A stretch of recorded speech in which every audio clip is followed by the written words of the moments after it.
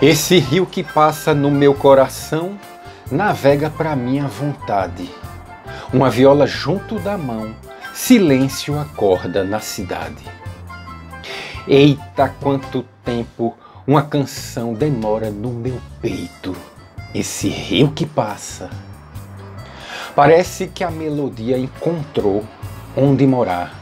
Esse rio que passa. Eita, minha vida se varia depois que eu canto esse rio que passa. E eu tento me dizer que para viver preciso de cantar. Olá, amigos, e esses versos são de autoria do poeta e compositor José Antônio do Nascimento Filho, que respondia pelo nome artístico de Zeto do Pajeú. Os versos que acabei de dizer são apenas um pedaço de uma canção composta por Zeto, intitulada Curvas, e que imprime muita profundidade, como vocês notaram aí, remete a gente para uma atmosfera reflexiva, pensativa. Né?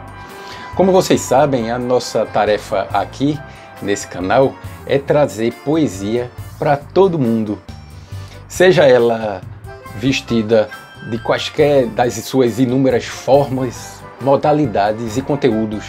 A participação e companhia de todos é muito importante para a gente, para o canal e especialmente aqui nesse episódio.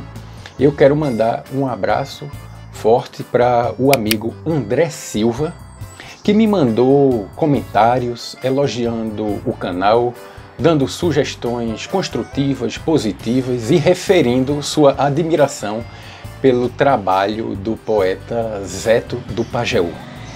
Vamos dizer mais coisas de Zeto. Vou cantar com total atrevimento, imitar os ciganos andarilhos, percorrer os caminhos dos trocadilhos, vendo louro inventar um novo invento misturar poesia e andamento, construir uma alma estradeira, ter um sonho normal numa esteira, numa noite no lindo Mochotó, caminhar nas estrelas vendo o pó das passadas da glosa derradeira. Imitando o pavão com suas cores, vou vestir colorido em minha vida. Tratarei como sábio esta ferida para lembrar a loucura dos amores, pois os loucos, os grandes sabedores, dão ao lúcido a loucura do real, para mostrar que o bem intencional faz morada em lugar bem diferente. Qualquer cor, qualquer dor é sempre a gente sugerindo a paixão, o seu aval. A tarefa é não ter nenhum caminho para encontrar o caminho do não ter. Ser irmão do bonito amanhecer, ser agulha seguindo o seu alinho. Encontrar multidões quando sozinho colocar tom menor no violão, ser maior entoando uma canção, perceber quanto tempo falta ainda colocar no cabelo a fita linda como fosse uma estrofe de cancão. Zeto do Pajeú nasceu em Canhotinho, no Agreste, e quando você repara na sua obra, vai escutando seus versos e canções, você percebe uma pitada de uma dimensão mística nele, uma dimensão mística muito forte. Certa vez, Zeto estava numa cantoria de pé de parede com Jó Patriota, sobre o qual nós temos inclusive aqui no canal também episódios já produzidos.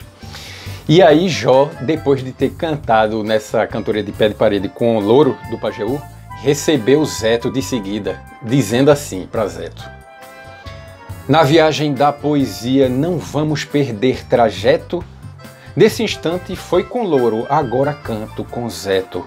Quando foge um engenheiro, se apresenta um arquiteto. E Zeto retribuiu os versos de Jó, dizendo a seguinte cestilha bastante fraterna: O meu verso predileto é cantar junto à magia.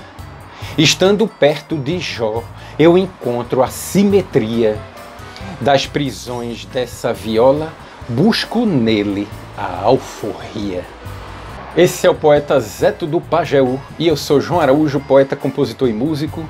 Deixa aí pra gente uma curtida, um joinha no vídeo, compartilha com os amigos, se inscreve no canal, é tudo gratuito e vale a pena para a gente estar tá espalhando mais poesia pelo mundo, mais poesia pela rede e fazendo com que essa mensagem, com a curtida de vocês, alcance mais pessoas, mais pessoas que gostam desse tipo de conteúdo. Eu desejo a todos muita saúde, um grande abraço e até a próxima declamação. É isso aí, amigos. Se vocês gostam desse tipo de conteúdo, literatura, poesia, declamação, literatura de cordel, então se inscreve aí no meu canal. A inscrição é gratuita e você vai estar recebendo esse tipo de informação para assistir aonde e quando quiser.